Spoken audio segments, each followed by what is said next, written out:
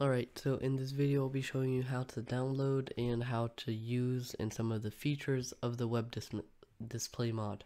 So first you're going to go to this link, it's down in the description, so just click on it and you'll arrive here. You select uh, whichever version you're using, I'm using 1.12.2, and then here you select the latest version which is usually or always at the bottom, and then you just click on download. You wait for it to download, it takes a few seconds. And you click on that, don't worry about the ad, and it should appear here. If you're not using Chrome, it's, it's going to be in your download folder, so you just click on the folder and then on the download icon. Next, you're going to go to this link, it's the second link in the description, you click on this and you click whichever version you're using. As I said, I'm using 1.12.2. You click on that and you select the latest version. It's at the bottom. You do that, you click on the download button, you wait a few seconds, and then you click on download and it should be there. Again, if you don't use Chrome, it's in the downloads folder.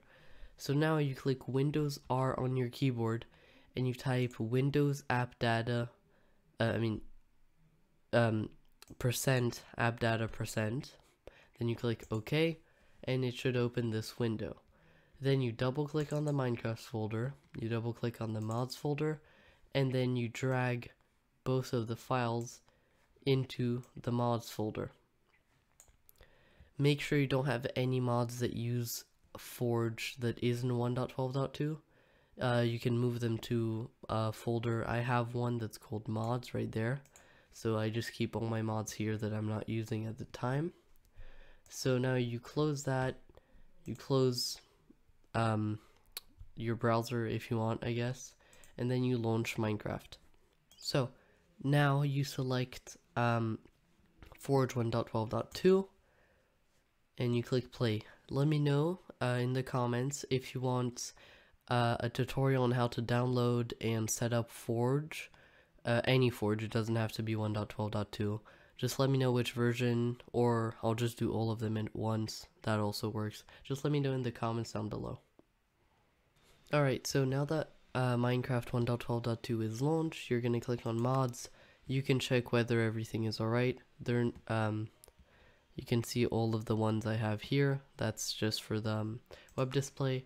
Alright, so now that you're in your world, you can open the creative menu, click on this little arrow to get the blocks that come with the mod.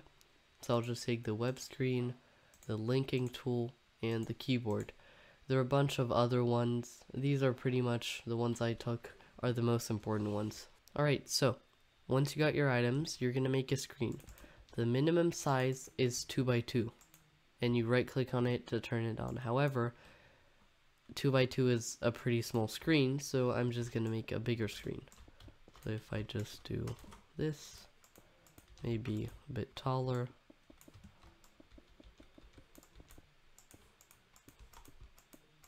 There you go. So now I have my screen. I'm just going to right click on it to turn it on. There you go. Alright, so once you have your screen, you right click on it to turn it on. And then you shift right click to get this thing. Here, you just pick whichever URL or website you want to be on. So I'm just going to write google.com. Okay. And there you go. You have Google. So now you just right click. And now you're going to want to place the keyboard wherever you want really, but right there is good. And then you right you using the linking tool, you right click on the screen and you right click on the keyboard. You can do it vice versa, so you start with the keyboard and then the screen. Anyway, so now I right click on the keyboard and in the top left you can see it says keyboard hooked, press escape to leave. Basically, anything I type on my keyboard is gonna type on there. So if I were to type YouTube, and then if you want to use your mouse, you need to escape and then use the mouse or whatever. But right now, I'll just click enter. There you go. And now I click escape. I select YouTube. I select the search bar, right click on the keyboard. I might just search up my uh, my channel, escape, and then you select you click on the little loop and there you go. That's my channel. So if I were to right click on my channel I can go on videos I can scroll down if I want. You get the point. So you can just look at anything you want. So if I were to just um uh, I'll just click on this video. It's gonna open. You can change the volume. Like that. You can do anything you could do on a browser, you just do it in Minecraft. There you go.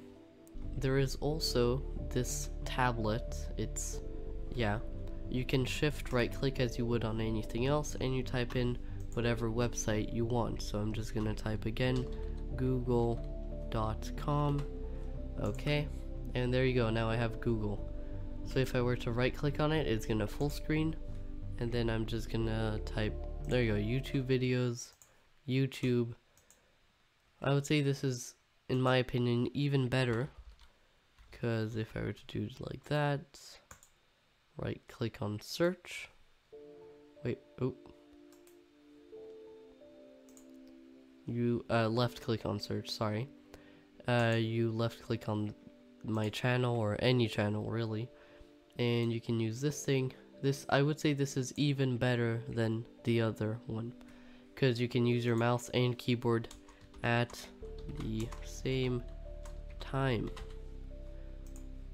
Let's see what shows up. Oh, there you go. Well, that's it for this tutorial.